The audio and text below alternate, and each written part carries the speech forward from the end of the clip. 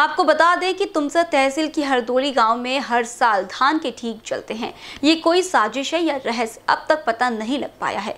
लेकिन ऐसी घटना से यहाँ किसानों में डर पैदा होने लगा है। अब किसान डरने लगे। किसानों के साथ होने वाले ऐसी घटना यह हर साल होती नज़र आ रही है। लेकिन इस घटना के पीछे का रहस्य क्या है, ये साबित करने में यहाँ सभी नाकामयाब हैं। भंडारा ज़िले के तुमसर तहसील के हरदोली में तुमसर बालाघाट महामार्ग पर स्थित शंकर बिस्ने के खेत में दो एकड़ शेती का धान काटकर उसका ढीक तैयार किया गया था। वहीं आज दिन में ही अचानक आग लग गई, जिसमें तकरीबन 40 से 50 बोरे धान को नुकसान हो गया है, जिसमें किसान पर आर्थिक संकट आया है। 60 से सत्तर हज़ार रुपए का नुकसान होने से यहाँ का किसान चिंता में नज़र आ रहा है। रहस्य की बात यह है कि इस गाँव में धान फ़सल जलने की हर साल की घटना है।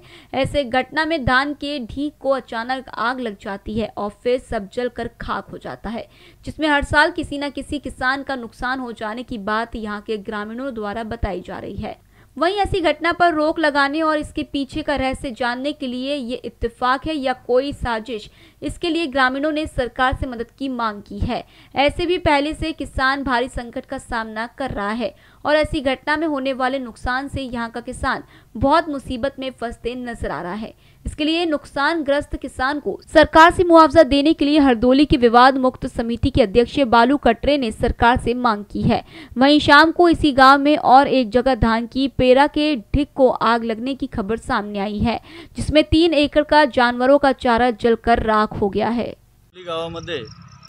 धानाची पुंजणे किंवा गंजी म्हणा त्यांना यांचा जळण्याचा ऑटोमॅटिक आपोआप हे जळतात. आणि याच्यासाठी आम्ही कित्येक तरी अंधश्रद्धा निर्मूलन समितीला घेऊन आलो कितीतरी आबाबाबा झाले इथली माती पुण्याच्या प्रयोगशाळेमध्येही पाठवण्यात आली पण तिथूनही काही निष्कर्ष निघाला नाही. हरदोली गाव हा अंधश्रद्धा निर्मूलन समितीसाठी एक आव्हान ठरलेलं आहे की या गावातला जडीत आपोआप जो जळण्याचा प्रकार आहे हा प्रकार बंद होत नाही आहे तर याच्यावर शासनानं काहीतरी तोडगा काढायला पाहिजे. कारण की सामान्य वर्गातील शेतकऱ्यांचं खूप अतोनात नुकसान होत आहे. गरीब वर्ग मध्यमवर्गीय लोक आहेत. ज्यांना शेती पूरक व्यवसाय नसूनही त्यात परवडत नसूनही ते शेती करतात आणि त्या शेती केल्यानंतर हा एक दैवीय प्रकोपच म्हणावं लागेल. कारण की आता माझा जन्म नव्हता त्यापूर्वीपासूनही हा जडित प्रकरण सुरू आहे.